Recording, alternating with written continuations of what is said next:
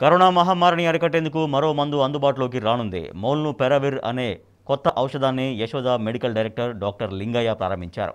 Britain అమెరికాలో జరిపిన first second phase ట్రయల్స్లో మంచి ఫలితాలు వచ్చినట్లు డాక్టర్ లింగయ్య తెలిపారు. కరోనా బాధితులకు మోల్నో పెరావిర్ వాడిన ఆరు రోజుల తర్వాత ఆర్టీపీసీఆర్ టెస్టులో నెగటివ్ వచ్చిందన్నారు. మన దేశంలో మోల్ను పెరవెర్ మూడో phase ట్రయల్స్కు drug control general of India అనుమతి ఇచ్చినట్లు వెల్లడించారు. యశోద ఆసుపత్రిలో ఇరవై ఐదు నుంచి యాభై మందిపై ప్రయోగం చేయనున్నట్లు తెలిపారు డాక్టర్ లింగయ్య.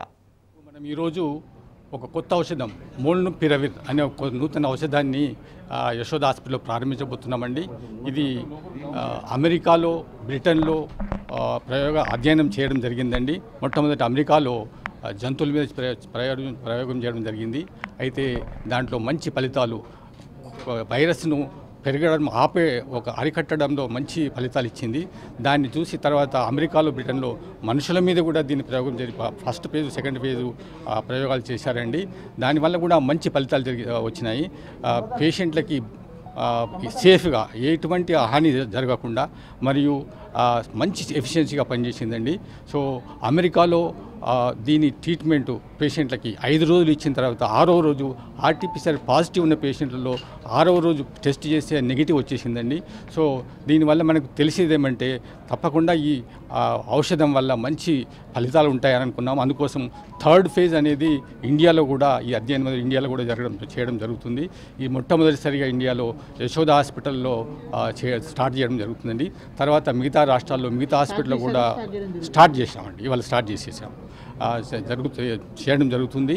అయితే ఈ అధ్యయనంలో ఈ ఔషధం యొక్క సమర్థత భద్రత ఈ రెండింటి గురించి కూడా మనము తెలుసుకోగలుగుతాము. తర్వాత ఒకవేళ ఈ ఔషధం యొక్క అధ్యయనం ఏదో సక్సెస్ఫుల్గా అంటే విజయవంతంగా అయితే మనకు కోవిడ్ని జయించడానికి ఒక మంచి ఔషధం లభిస్తుంది అనేది మన ఆశ. ఇది పన్నెండు వందల పద్దెనిమిది మంది మీద మొత్తం ఇండియాలో చేయడం జరుగుతుందండి. ఇక్కడ మా హాస్పిటల్ ఈ- మా యశోద హాస్పిటల్లో ఒక ఇరవై ఐదు నుంచి యాభై మంది వరకు మేము అధ్యయనం చేద్దాం అనుకుంటున్నామండి. అయితే ఇది ఎనిమిది వందల గ్రాములు పొద్దున ఎనిమిది వందల గ్రాములు సాయంత్రం సాయంత్రం ట్వెల్వ్ అవర్స్ డిఫరెన్స్లో పద్దె పన్నెండు గంటల డిఫరెన్స్లో ఇవ్వడం జరుగుతుందండి.